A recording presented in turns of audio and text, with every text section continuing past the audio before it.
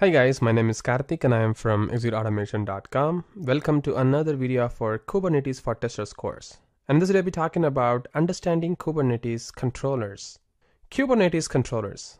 So the controllers are managed by kube managed controllers and there are following controllers available. Something like node controllers, which are responsible for noticing and responding when the node goes down and replication controller, something which are responsible for maintaining the correct number of pods for every replication controller object in the system. So we saw how we can work with pod, creating a pod in our previous videos of this course, and we also saw how we can delete a pod and describe the pod. But what if there are like one pod that we created and if we want like 10 or 15 pods, then you can just tell to the replication controller as an desired state and again, I'm saying something called as a desired state.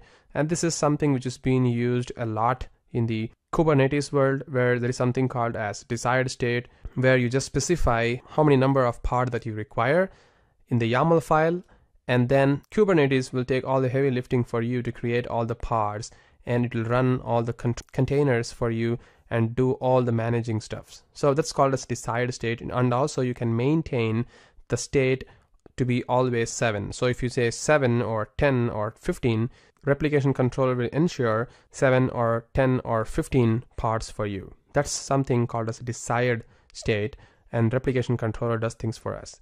And there is another controller called as endpoint controller, which populates the endpoint object. And then comes the service account and token controller, which is going to create the default account and API access token for the new namespace. Well, there are these kinds of controllers available as we saw even in the introduction video of this course, but the one which we are going to be very much focused on is going to be on the controllers which are going to be helpful on the node side. And these are some of the controllers that are available and the one which we are going to discuss or this one, the replication set, replication controller, and the deployments. So the replication controller ensures that a specified number of pod replicas are running at any one time. So in other words, the replication controller makes sure that a pod or a homogeneous set of pods are always up and running. That's very, very important. So replication controller will make sure that the specified number of pods in the YAML file that you have given in the manifest to the master is always available for you up and running. And there is something called as replica set. And again, it's the next generation of replication controller though. The only difference between the replica set and the replication controller right now is the selector support. So there is a keyword called selector that you can use within the YAML file. And it is very, very helpful to support a new set-based selector requirements are described in the label user guide, whereas replication controller only supports equality-based selector requirements. And then comes the last one, which is nothing but the deployments. So a deployments controller provides a declarative update for pods and replication sets. So you describe a desired state in the deployments object and the deployment controller changes the actual state to the desired state at the controller rate. So you can define deployments to create new replica sets or to remove existing deployments and adapt all these resources with new deployments. And again, deployments is like a higher level construct which is going to be useful for doing the rolling updates for the pod. So for instance, if our pods are running some older versions of applications, and if you want to make an updates for those applications, you can just use this deployment to do the rolling updates, and it's going to do all the updates for you within those containers running within the pods. Again, deployment is something very, very big concept. And again, we'll be talking about that in our upcoming videos of this course. But today I'll be talking about the controllers, which is nothing but the replication controller, because that's too much specific to the pods. So let's quickly start understanding and work with the replication controller then and understand how things work. So for that, I'm gonna flip to my Mac operating system. All right, so I'm back to my Mac and this is my iTerm terminal editor and now what I'm going to do is I'm going to start working with the replication controllers. So as you know already that we have created the pods using this particular YAML file in our previous videos of this course. So you know that there is something called as API version v1 and kind is pod and the metadata is first pod and we use this Alpine but for some reason it was not working. Well, we were using that. So instead this time I'm just going to use Nginx and we're going to use the image as nginx as well right? So this way it is going to spin up one pod for me. But what if I want to spin up the same kind of pod at least 10 or 15 replicas? So if I want to do that I can do using what is called as a replication controller. So for replication controller these codes that we have written are going to be the same thing. I don't say it's a code well it's a command. So these commands are going to be the same one and even the spec is going to be the same. Just that there is one more option that we need to use what is called as replica or replicas and then we can mention it as let's give us 5 for now. And then we need to use what is called as a selector. So again the selector is little different. It uses the equality match then which is something available uh, in replica set. So I'm just going to use the selector here. So the name is going to be the app name so here I'm just going to give an app name as uh, first pod again. So the selector name and the name of this particular pod is going to be same pretty much like that. And then I'm just going to use what is called as a template. And the template is going to be something just going to contain the metadata once again. And the metadata is going to have what is called as a uh, label. And this labels is going to have what is called as an app and the name of the app is once again just going to give us pod or I mean the first pod or something like that. Or maybe uh, because it's going to be too much confusing uh, I just want to isolate this pod name a little bit. Let's call this as nginx app something like that right? It makes more sense now. So let the spec be something different at least. So this is first pod here right? So this is the thing. And so this uh, pod name is nginx by the way. And then we're going to use the same image here. And one more thing is going to be because we are going to use the images now. So I'm just going to use spec once again. And let's do an indentation here. There you go. So this spec here that you can see is going to be for the replication set. So this is going to remain pretty much the same that we discussed before. And this is different for the replication controller and this one is going to be for the image that we're going to pull right?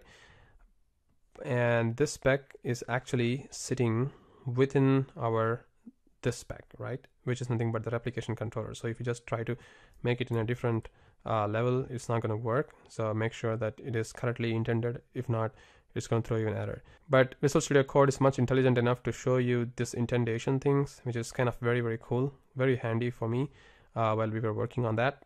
So I'm just gonna save this. Or maybe I can just create uh, one more file here. And let's call this as replication controller or RC uh, YAML and I'm gonna paste it over here.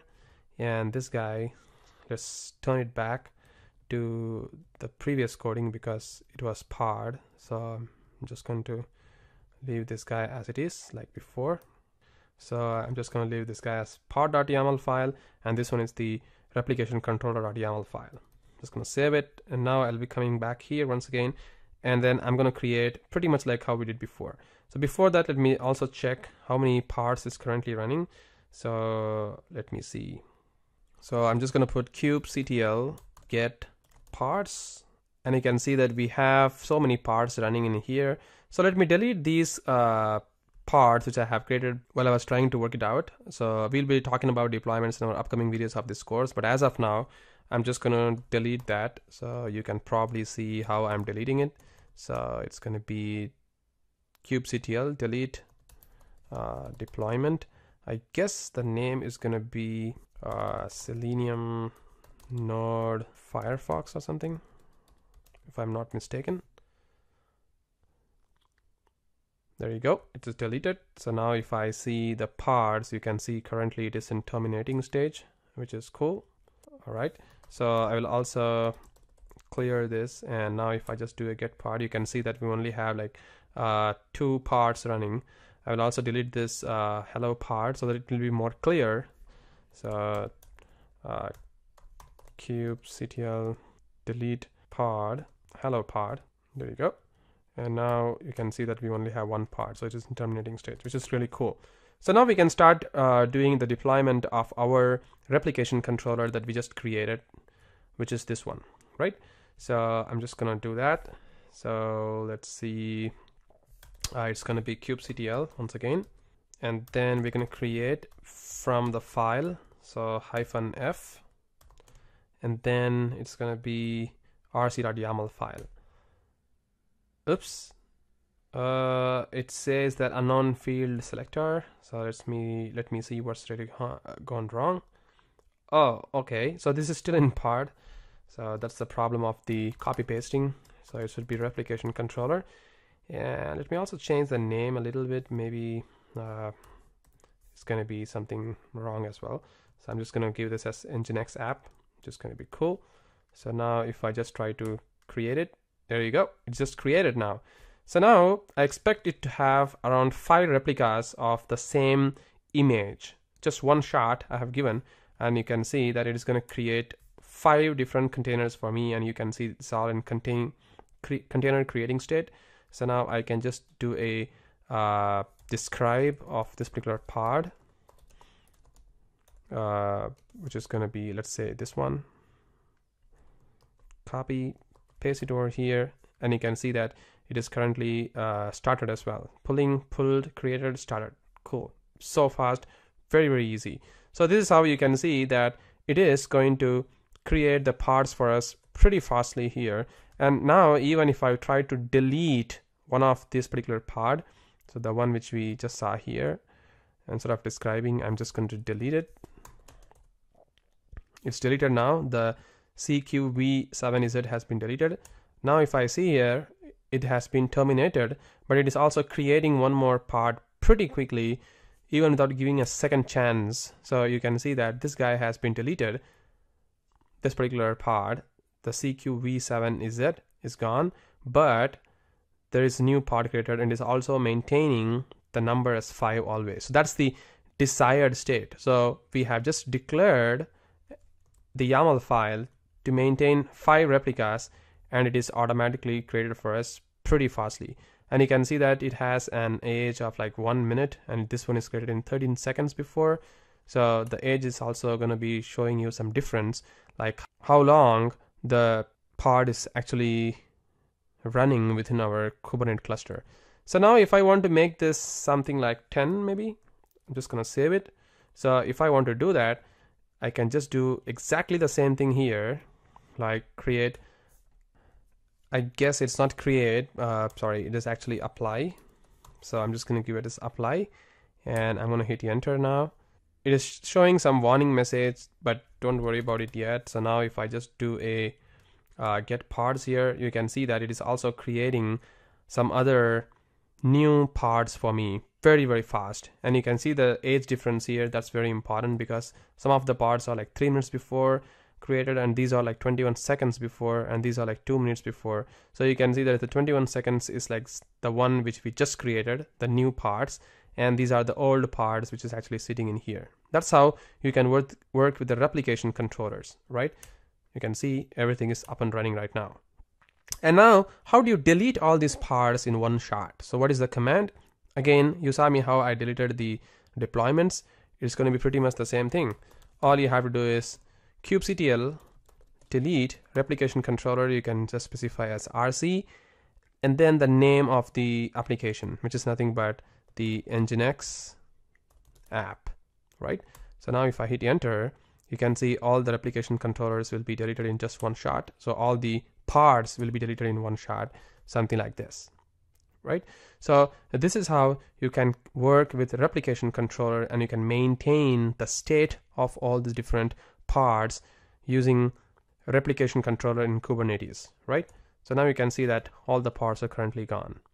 Starting our next video, we'll see how we can work with services in, in much greater detail so that we'll understand how to work with services and how we can intercommunicate with different pods using same network IP address and also access the pods from outside world because so far we have not accessed the pods from outside world which we'll be doing from the services video that we're going to discuss next. So once again, thank you very much for watching this video and have a great day.